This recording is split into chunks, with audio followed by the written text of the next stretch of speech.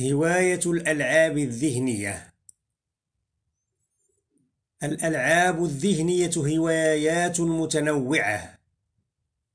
فمنها ما يتعلق بالأحاجي ومنها ما يتعلق بألعاب الرياضيات ومنها ما يتعلق باللغة ومنها الكلمات المتقاطعة وغيرها.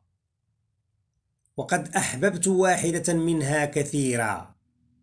فهي التي ساهمت في زيادة ثروتي اللغوية إذ أكسبتني رصيدا لغويا غنيا وساعدتني على التفوق في مادتي التعبير الشفهي والكتابي ووسعت معارفي ونمت خيالي وجعلتني أقضي أوقات فراغ مسلية ومفيدة وأحيانا تكون الدروس جافة.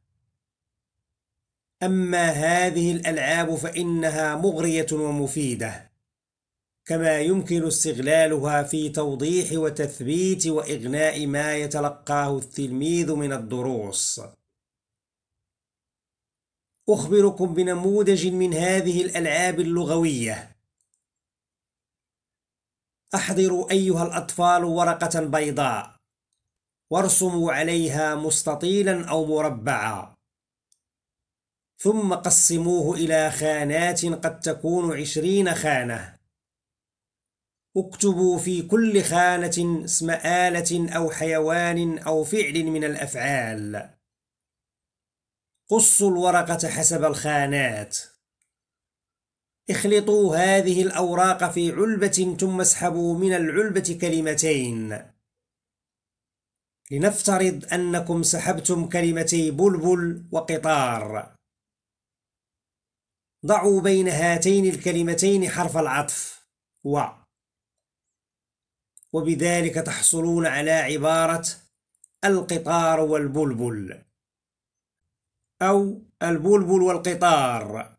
فتكونون قد حصلتم على عنوان قصة.